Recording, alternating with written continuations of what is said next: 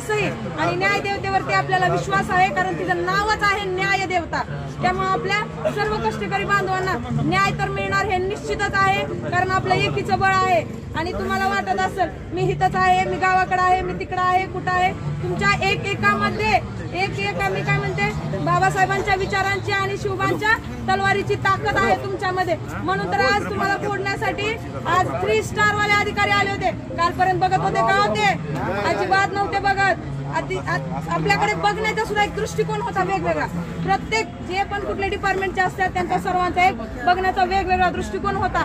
आज ते लोक येतात तुमच्यापर्यंत तुम्हाला बोलायला. विचार करा कोण आहेत तुम्ही?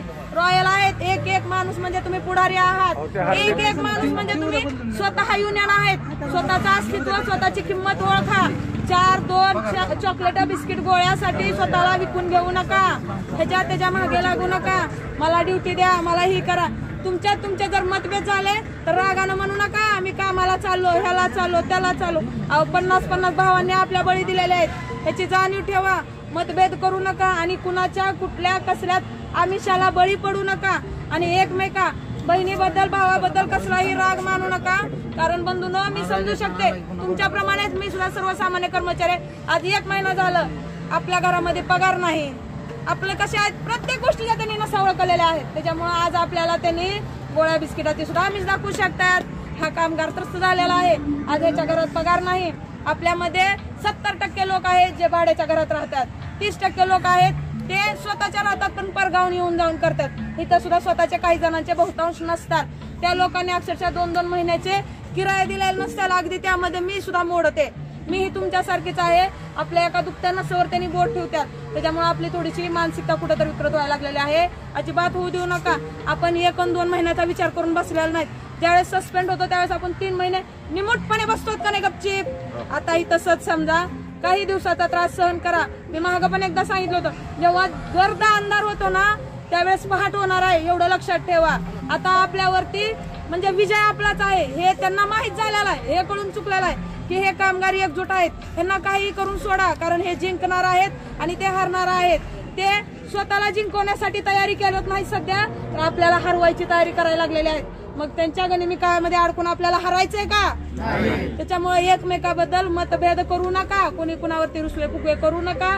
छोट्या छोट्या गोष्टीसाठी नको त्या आमिषाला बळी पडू नका. नको तिथल्या सांधी कोपऱ्यामध्ये जाऊन कुठल्या चार टवाळक्यामध्ये जाऊन बोलू नका. स्वतःचं अस्तित्व विकू नका. काय का तुम्हाला आताचा गनिमी कावा काय म्हणतात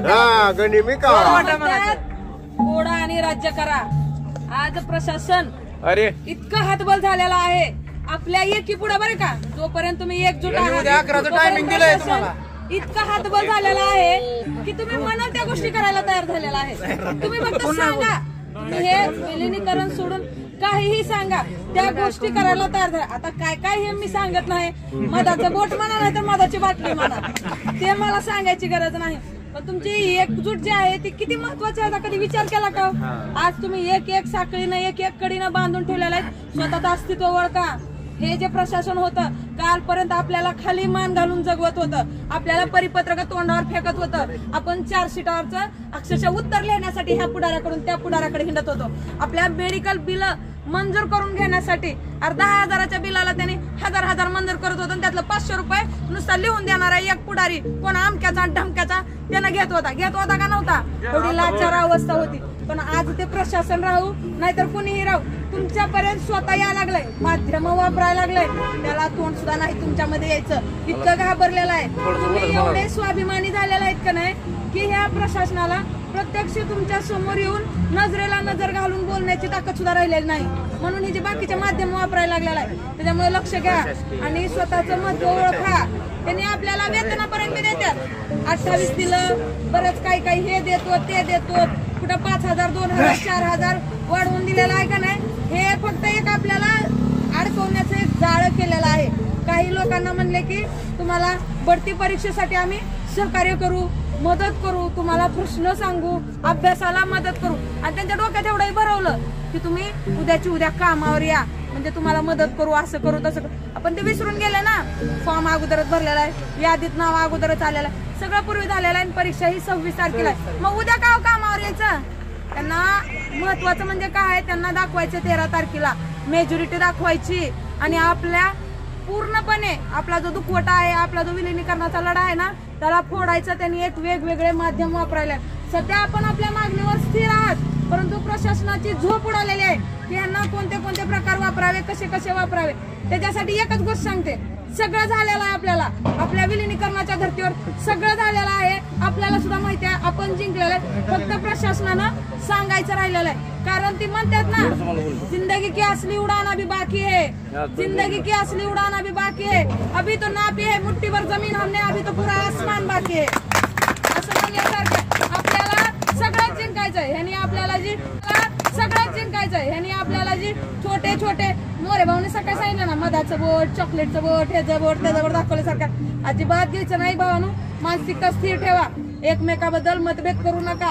ह्यानं असं म्हणला त्यानं तसं म्हणला हिनं अशी म्हणली तिनं तशी म्हणली. अजिबात म्हणू नका.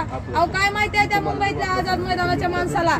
आणि काय माहिती आहे उस्मानाबाद डेपो मधल्या कामगाराला सगळ्यांचे मत एकच काय येतात व सगळेजण विलिनीकरणच का म्हणतात काय हिथला माणूस फुटत नाही तिथल्याचे आहेत का आपण त्याला सांगतो का? लिहून देतो का? पाठ करायला लावतो की आपल्याला हे मागणी मान्य करायची आपल्याला ते मागून घ्यायचे. म्हणतो का आपण? नाही ना म्हणत. तरी सुद्धा सगळ्यांचे विचार एकच कसे आलेले आहेत? कारण हा सर्व कामगार जो आहे कष्टकरी कामगार जो आहे प्रशासनाच्या त्रासाने जाचक परिपत्रकाने तुटपुंजा पगारीने आणि गुलामगिरीच्या वागणुकीतून त्रस्त झालेला आहे. म्हणून त्याला फक्त एकमेव मार्ग दिसतो. ह्या सगळ्या गोष्टीतून स्वतंत्र होण्याचा तो म्हणजे राज्य शासनात विलिनीकरण तेच घ्यायचं आपल्याला. मतभेद करू नका.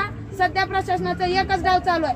फोडा आणि राज्य करा. जुन्या लोकांना सांभाळून घ्या. नवीन लोकांच्या नव्या विचारांचा आदर करा. एकमेकांना सहकार्य करा. काडीनं काडी गुंपत चला. कुणी जात असेल त्याला धन्यवाद म्हणा आला तरी आभार म्हणा कुणाशी मतभेद नाहीत. आपण आपल्या विचारावर आपल्या मागणीवर ठाम आहोत. आहोत का नाहीत? हो. त्यानं असं म्हणला त्यानं तसं म्हणला. बिलकुल म्हणू नका. मतभेद करू नका. कारण तेच तर करायचंय त्यांना आपल्यामध्ये. त्यांनी आपल्याला सस्पेंड केलं. घाबरलो का आपण? नाही. सेवा समाप्ती केली. घाबरलो का? नाही. बदल्या केल्या. नाही मेसमा काय असतो आता कळायला लागलाय? मला सुद्धा माहीत नव्हतं मेसमा म्हणजे काय असतं. त्या मेसमाची धमकी दाखवली. मेसमा दोन तीन दिवस टीव्हीला तर मेसमाच चालत होता. मी तर अभ्यास केला या मेसमाचं नेमकं काय असतं? तेव्हा कळालं की सरकारी कर्मचाऱ्यांना असतंय. मेसमा. मग आम्हाला अगोदर सरकारी कर्मचारी करा. म्हणलेच नाही आपल्या सदावरती साहेब. आपल्याला पहिल्यांदा सरकारमध्ये विलीन करून घ्या राज्य शासकीय कर्मचारी बनवा. आणि मग मेस मला असे बरेच प्रकार केलेले आहेत. तेव्हा कुठं शेवटचं एक माध्यम राहिलेलं आहे त्यांच्याजवळ. ते म्हणजे कसं? आपल्यामध्ये मतभेद निर्माण करणं. जसं म्हणतात ना फोडा आणि राज्य करा. सध्या त्या भूमिकेमध्ये आहे. तर तुम्ही एकमेकांना फुटू देणार का? त्याच्यामुळं ह्यांचं जे आहे काय म्हणतात त्याला इंग्रजी वृत्तीचं राज्य ते पुन्हा एकदा चालू देणार का? नाही. त्याच्यामुळे त्यांनी काहीही म्हणो काहीही सांगो अकराला बोलू बाराला बोलू नंतर तेराला बोलू. आमचे एक माणूस आहेत म्हणायचं बोलायला अख्ख्या महाराष्ट्राला तोंड देतात. ती म्हणजे आपले गुणरत्न सदावर्ते साहेब. ते सगळ्या प्रश्नाचं उत्तर आहेत. आमच्या समस्याचं निरासरण करण्यासाठी आणि आमच्या प्रश्नांची मांडणी करण्यासाठी आमचे स्पेशल एसटीचे सर्व कष्टकरी बांधवांचे वकील आहेत म्हणून. त्यांनी जे म्हणतात ते सही. आणि न्याय देवतेवरती आपल्याला विश्वास आहे.